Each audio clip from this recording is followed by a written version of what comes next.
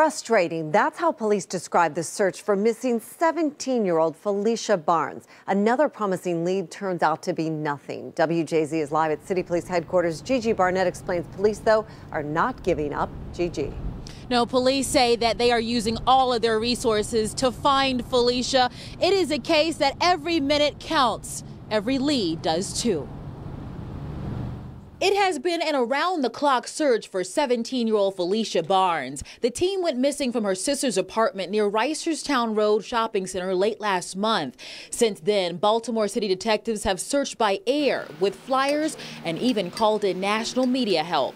Tips keep pouring in. We're going to follow up on every lead. Then, late last night, a possible break. One of three dozen tips led police to this house in southwest Baltimore near the county line. There, officers drained an abandoned sewer well looking for the teen. Nothing turned up.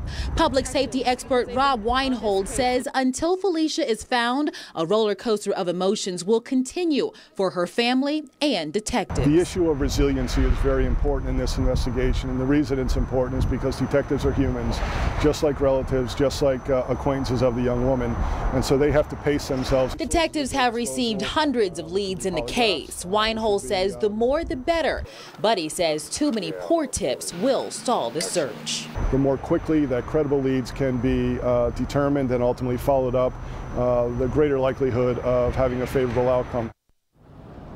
And police are leaving nothing uh, uncovered or unturned. They even looked into Phylicia's past. She was a, a, straight A student and even graduated early. They say they could not find anything that would indicate any questionable activity or criminal activity. Mary, back to you. Okay, Gigi, thank you. And we promise to keep following this case and we'll let you know as soon as Phylicia is found.